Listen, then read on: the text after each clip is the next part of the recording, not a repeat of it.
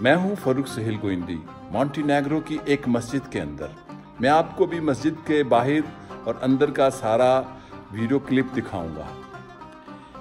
Monte negro کی ایک مسجد میں ہوں۔ مونٹی نیگرو جو کہ یوگوسلاویا کا ایک ریاست تھی اور یہ اس کی مسجد ہے اور یہ آباد مسجد ہے، یہ آٹومن امپائر میں یہ بنائی گئی تھی۔ یہ دیکھ سکتے ہیں، چونکہ پاکستان میں سرمایہ دار دنیا میں بڑا پروپیگنڈا تھا۔ کہ جب کمیونسٹوں نے ایسٹ یورپ پہ یا روس میں حکومت کی تو ساری مساجد گرا دی گئیں۔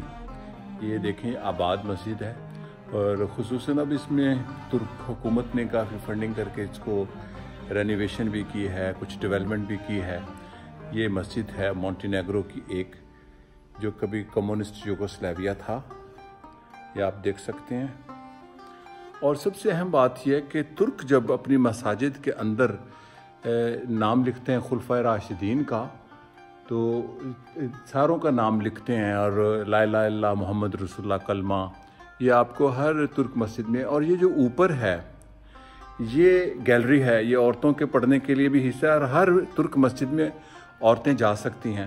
اور ترکی کی مساجد کی ایک سب سے بڑی خوبی یہ ہے کہ وہاں پر جو امام ہوتا ہے، وہ سیاحوں کو روکتا نہیں ہے، اگر کوئی غیر مسلم ہو، ان کو انکریج کرتے ہیں۔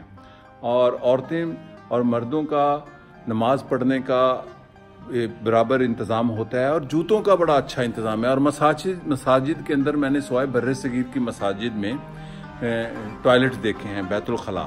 ایسا بالکل نہیں، یہ بناتے ہیں مسجد سے دور۔ یعنی کہ بیت الخلاء کا مسجد کے احاطے میں کوئی تعلق نہیں ہوتا۔ تو یہ ہے وہ ایک کمیونسٹ دور میں بھی جو مسجد تھی اور اب بھی مسجد ہے، آٹومن کی بنائی۔